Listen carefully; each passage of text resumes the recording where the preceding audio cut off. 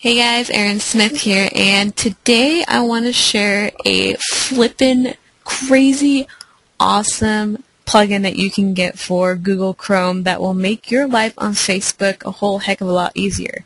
Because with your group, if you guys have a group or if you have a fan page, um, when you want to suggest it to people, you know you have to go through and click every single person that is on your friend list. You have to go click every single um, profile, though, right?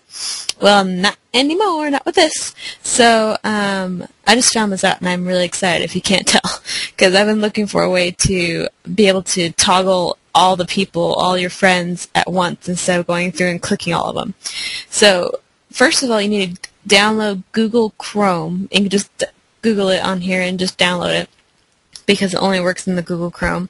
And then after you download it, in the search bar here in Google, type in Google Chrome extensions. And then just click on the first one here.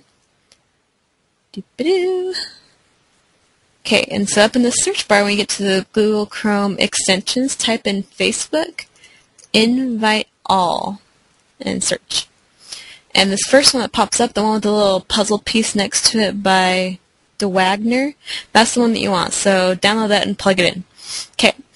Now you get to have some fun. So let's go to Google Chrome, and I already logged into my group here. And my group is Attraction Marketing with Erin Smith, generating leads for free.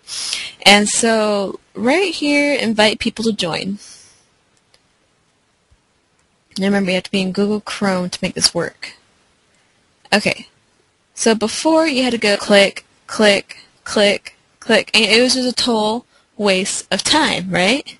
Well, now with the Google Chrome extension, you have toggle all. You click on that, and I only have some people who aren't part of my group that I haven't invited yet, or 11. And so you click toggle all and it highlights everybody that um, is a new friend that hasn't gotten a friend uh, group request yet.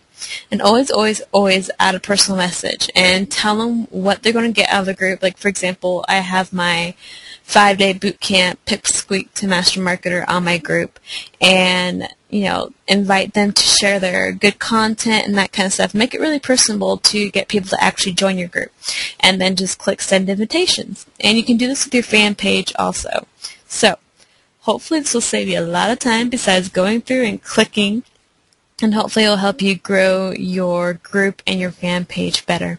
So um, that's my tip of the day, and go do this. And yeah, I will talk to you next time. Bye.